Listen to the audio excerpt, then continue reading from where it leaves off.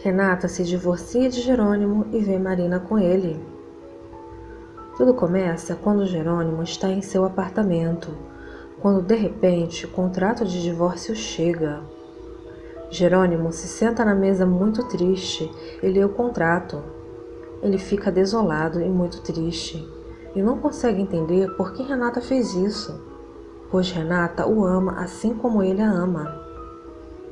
Jerônimo então volta para a fazenda e vai até os vinhedos com Carlos para ver se as uvas estão com pragas. Alzira informa que esse tipo de praga é muito difícil de controlar.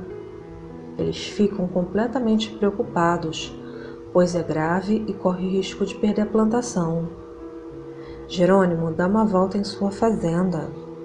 Ele se pega pensando em Renata e fica triste e chora por lembrar em tudo que Renato disse. Ele então diz que ele é um estúpido e não consegue se conformar com tudo que está acontecendo. Nessa hora, Marina chega por trás e diz se ele está discutindo consigo mesmo. Jerônimo responde que não é louco.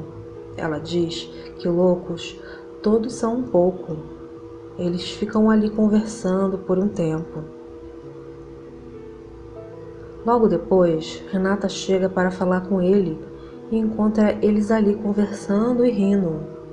Marina em seguida vai embora e Renata diz a ele que quer sua égua cigana. Ambos discutem e Renata depois vai embora. Mais tarde, Renata fica na varanda pensando.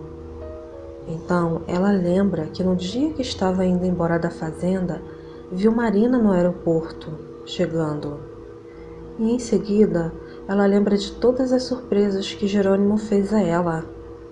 Renata então chora e diz que está tudo acabado. Quer saber mais o que vai acontecer?